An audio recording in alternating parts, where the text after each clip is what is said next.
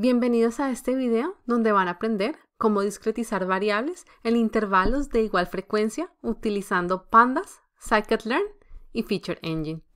En este tipo de discretización, los posibles valores de una variable se dividen en n intervalos y cada uno de estos segmentos tiene el mismo número de observaciones.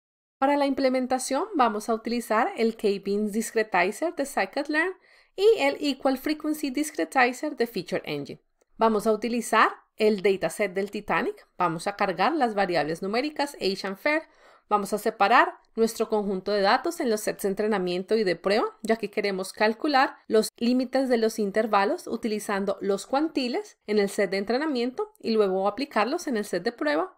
Y vamos a imputar los datos faltantes en nuestras variables utilizando una muestra aleatoria. Aquí vemos cuál es la distribución original de nuestras variables. La idea es ver cuál es el efecto que tiene este tipo de discretización en la distribución de nuestras variables. Veámosla en primera implementación utilizando pandas y numpy. En esta ocasión vamos a utilizar el método de pandas qcat. Recuerden que en el video anterior utilizamos el método cat, pero ya que esta vez queremos utilizar la información de los cuantiles para fijar los límites de cada uno de los segmentos, vamos a utilizar este método. Tenemos entonces que pasamos la variable que queremos discretizar, el número de intervalos que queremos en nuestra variable discretizada. Fijamos este parámetro igual a true, ya que queremos que nos devuelva los límites de cada uno de los intervalos para poder usarlos en la discretización del segmento de prueba. Y tenemos otros parámetros que pueden descubrir, que pueden aprender más en la documentación de pandas. Aquí concatenamos nuestra variable discretizada con la variable original para poder evaluar los resultados.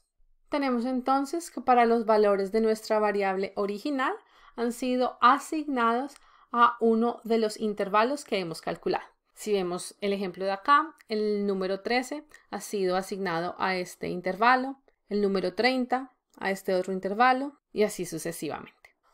Vale la pena resaltar que el tamaño de cada uno de los intervalos es diferente. Tenemos, por ejemplo, este que va de 0 a 16, este de 28 a 31, de 40 a 50. Y este es el resultado de discretizar utilizando los cuantiles.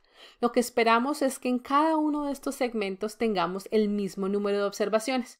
Podemos entonces calcularlo aquí y comparamos y vemos que más o menos en cada uno de los intervalos tenemos el mismo número de observaciones. También podemos añadir etiquetas en lugar de tener los límites de los intervalos cuando tenemos nuestra variable discretizada. Y podemos utilizarlos en el método QCAT de, pandas, especificando que queremos estos valores de etiquetas y acá tenemos el nuevo resultado. Para transformar el set de prueba vamos a utilizar el método cat de pandas, ya que hemos estimado anteriormente cuáles son los intervalos. Simplemente vamos a pasar en este caso la variable que queremos discretizar, este es el set de prueba, vamos a pasar los intervalos que calculamos utilizando el método qcat y vamos a pasar las etiquetas o los labels para nuestro resultado. Aquí repetimos el mismo procedimiento, pero esta vez no vamos a pasar los valores de las etiquetas y aquí podemos comparar cuáles son los resultados. Tenemos nuestra variable original, nuestra variable age, tenemos nuestra variable discretizada utilizando las etiquetas o la variable discretizada utilizando los límites de cada uno de los segmentos.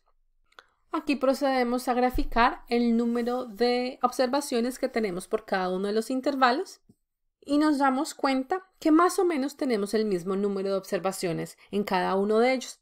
Esto nos demuestra que este tipo de discretización tiende a distribuir más homogéneamente los valores de una variable a través del todo el rango posible de valores y que, por ejemplo, en este caso la variable age, que originalmente tenía un número de observaciones acumulado en el centro de la observación, después de discretizada, la variable ahora tiene sus valores homogéneamente distribuidos.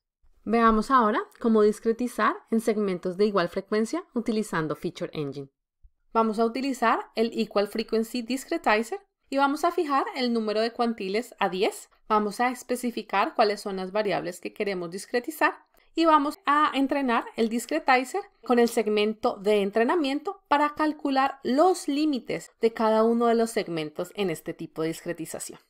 Acá podemos ver cuál es el resultado del entrenamiento, donde tenemos los límites de los intervalos para cada una de las variables, en este caso age y fer, y vemos cómo el discretizer reestructura los límites inferiores y superiores de los intervalos para poder acomodar cualquier valor extremo que veamos en nuestros datos y que no haya sido utilizado o que no haya sido parte de nuestro set de entrenamiento cuando calculamos inicialmente estos límites.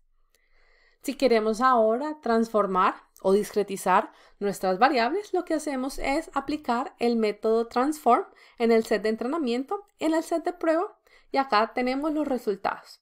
En este caso tenemos que las variables discretizadas tienen el número del intervalo del valor correspondiente en dicha observación.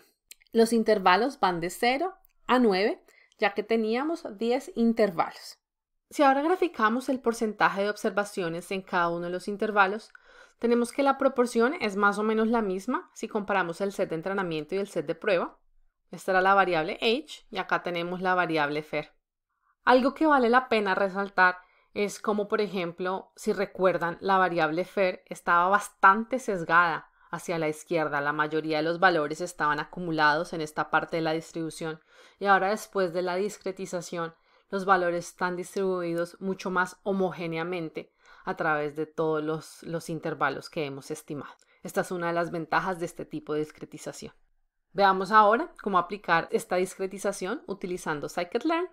Vamos a utilizar nuevamente el K-Beans Discretizer, pero esta vez le vamos a decir que queremos que aplique la estrategia quantile para la estimación de los límites de cada uno de los intervalos. Procedemos a entrenar el discretizador utilizando el segmento de entrenamiento. Pasamos explícitamente cuáles son las variables que queremos usar para estimar los límites y podemos ver cuáles son los resultados de la estimación. Aquí tenemos que es un arreglo y cada posición de este arreglo corresponde a los límites de cada una de las variables que estábamos estimando. Si queremos ahora transformar o discretizar nuestras variables, aplicamos el método transform, pasamos en este caso el set de entrenamiento, obtenemos los resultados. Recuerden que scikit-learn retorna los resultados como un NumPy array, por lo tanto, si queremos un pandas data frame, debemos explícitamente calcularlo y acá tenemos los resultados. Podemos hacer lo mismo para el set de prueba y procedemos a graficar la proporción de observaciones por cada uno de los intervalos como hicimos anteriormente. Eso es todo por este notebook. Muchas gracias.